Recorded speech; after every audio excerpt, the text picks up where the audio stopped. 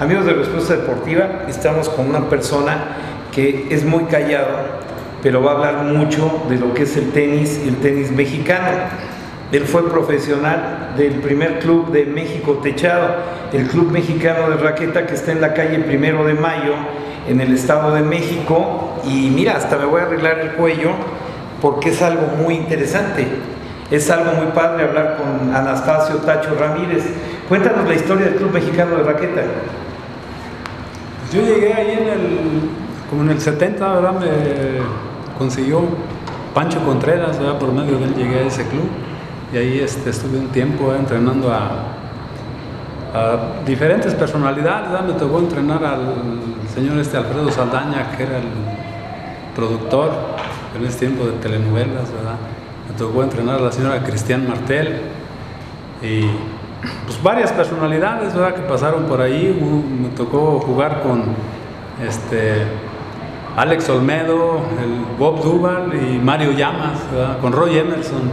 Hubo un torneo de celebridades y pues, jugué ahí buen nivel, ¿verdad? Con jugadores de, pues, de talla pues, internacional.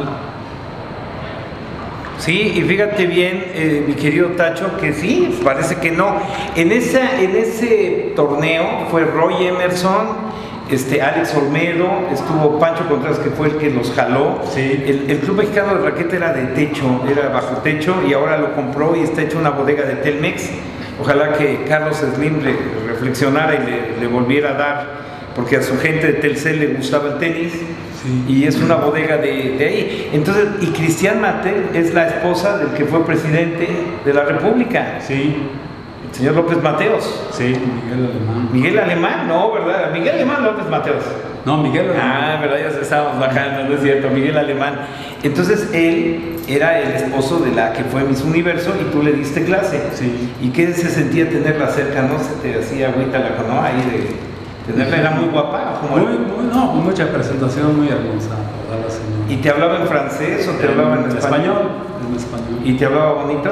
Totalmente. ¿Qué te decía Tacho? Sí, sí. Así. Muy bien, oye, eso, eso de tener a Cristian Martel, pero vamos a platicar de otro, de cosas de la historia del tenis mexicano. Poca gente sabe que cuando Manolo Santana, que fue campeón de Wimbledon en 1966 y me parece que perdió en la primera ronda en 1967, me puedo equivocar, ¿eh? Me puedo equivocar. Manolo Santana fue campeón de Wimbledon y él venía aquí a jugar este, los torneos Malboro que organizaba Jorge Rendón, el, eh, Solís, el papá de Jorge Rendón, y también este, vino a jugar un torneo en el Club España. Sí. Ese torneo, ¿qué, qué fue? Ese torneo fue por equipos. ¿En qué año fue, te acuerdas? Como en el 73. Ok. Sí, como en el 73. ¿Y qué pasó en ese torneo? Vinieron jugadores, pues jugó la Copa Davis, fue del equipo de México, vino la Universidad del Sur, vino Raúl Ramírez, este, y nos tocó, nosotros, yo, a mí me tocó jugar en el equipo de provincia con el amigo Rodrigo Martínez, Ricardo López de Puebla y Rubén Nápoles de Guadalajara, y jugamos contra España, y el amigo le ganó a Manolo Santana. ¿verdad? Yo no me acuerdo del rival, ¿verdad? me ganó 7-5-6-1 mi rival y, y, nos eliminó España, ¿verdad? pero sí nos tocó jugar ese torneo contra él y el amigo le ganó a Manolo Santana. Cuenta la leyenda que el amigo no quería jugar con Manolo Santana. No, no quería. A ver, cuenta esa anécdota porque el amigo Martínez, cuando le dicen vas contra Manolo Santana, que fue campeón de Wimbledon, sí. este, él dijo, no, no, no, no quiero jugar contra él. ¿Por qué? No, yo no voy, dice que vaya Tacho, ¿verdad? Y dice, no, pues a él ya le, le, asignaron su rival y tú vas contra él y lo llevaron, ¿verdad? Lo aventaron al, al ruedo, ¿verdad? Porque él no quería y ganó 7-5, 7-5. O sea, imagínate el amigo Martínez. ¿De dónde era originario? ¿De Tamaulipas? De San Luis Potosí. ¿Y por qué vive en Tamaulipas? Es entrenador en el club campestre en Tamaulipas ahorita en la actualidad. Entonces es de San Luis Potosí. Él es de ¿Y por qué no lo pelan como buen tenista? Porque a Juanolas Arredondo ya le hicieron su homenaje, Sí. le hicieron la cancha. ¿Y, y quién crees que pudo ser mejor? ¿Juanolas o, o este, el amigo Martínez? No, Juanolas. Juanolas es más. Sí, ¿verdad? Sí, totalmente. Pero un triunfo sobre un cuate que fue campeón de bueno, claro, ya no era el campeón Manolo Santana, pero tú me comentaste que ningún mexicano le ganaba. No, Le ganó enseguida, él jugó contra la Universidad de California y le ganó al 122 del mundo, pero 6-1, 6-2 lo barrió por completo. Manolo Santana. Y pierde con el amigo. Y perdió con el amigo en, en el, bueno, nosotros, pero nos ganaron la serie, nos eliminaron. Fíjate, hablas de Raúl Ramírez y dices que fue en 73. Él vino aquí. Bueno, ahí te va. Raúl Ramírez por esos eh, tiempos empezaba a jugar. Este le ganó a, en, en, en, Roland Garros, le gana a Dion Borg.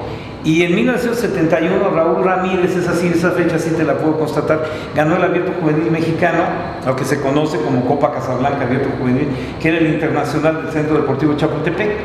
En 1940 el, Deportivo Chapultepec fue sede del torneo panamericano de tenis.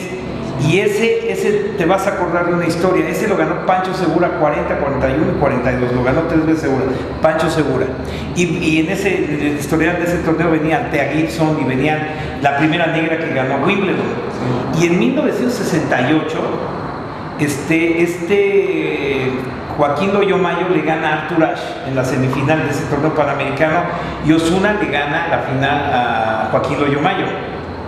Y tú me comentaste una anécdota que, que, viste aquí, porque mi tío Alfredo Álvarez, que tú lo conociste bien, perdió aquí con Loyomayo, pero con una raqueta rota, pero tú platica cómo fue el partido. No, pues yo lo que puedo decir es que lo tuvo punto para partido en el quinto set y no le pudo ganar. Esa es la situación. Alfredo lo tuvo. Alfredo lo tuvo punto para partido en el quinto set y no le ganó.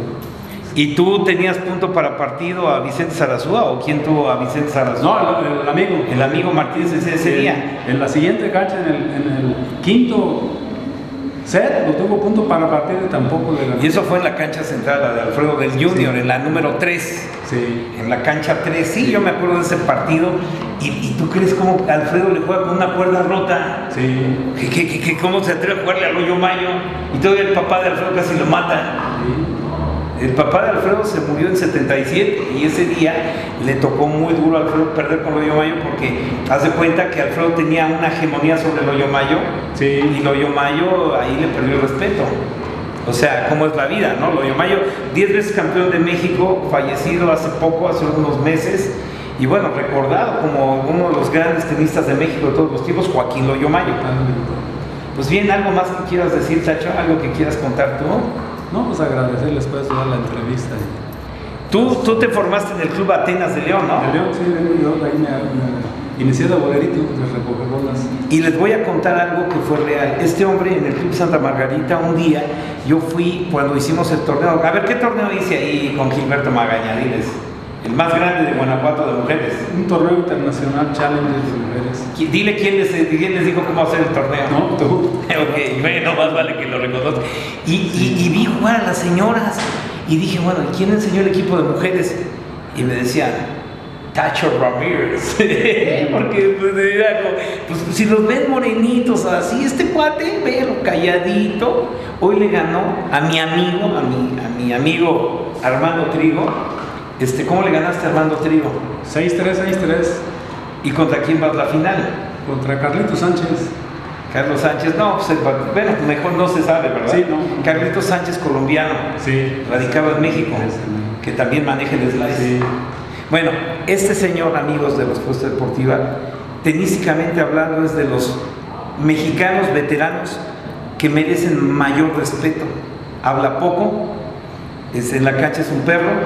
Este, yo lo vi jugar con mi tío en el Club Mexicano de Raqueta y, también, y le ganó Tacho Alfredo porque sacaba muy duro, era un cuate muy, muy, muy fuerte, es, de esos cuates macizos, de esos cuates, si fuera este, madera sería caoba, sería un arbolote y bien, y mira, calladito, y en resumen, estuvo con Cristian Martel dándole clases, ¿conociste al expresidente? ¿O nada más a, a Cristian? ¿No conociste a su marido? No. ¿Y llegaba con guaruras? Sí, totalmente. Y, y, cuando estuviste con Roy Emerson, ¿qué te decía Roy Emerson? Roy Emerson fue el que tuvo 11 títulos de Grand Slam y después fue superado por, por este Pete Sampras y luego el 14 y luego fue superado por Roger Federer 17. Pero Roy Emerson cuando vino era de lo más grande, era la figura, ¿no? Sí. ¿No vino Leiber? No, no, no, no sé. Y Alex Olmedo fue el primer latinoamericano en ganar Wimbledon. En el 57. En 57, que en esas épocas Pancho González también estaba haciendo sus pininos, también triunfando en el US Open. Sí. Y en 1957, Alfredo Álvarez, te voy a dar una historia, perdió la final de Ronald Bowl con Charlie Pasarelli. Sí. O sea, cómo se enlaza Sí. el tenis. Y en el 2016 tú le ganas a Trigo. Corte.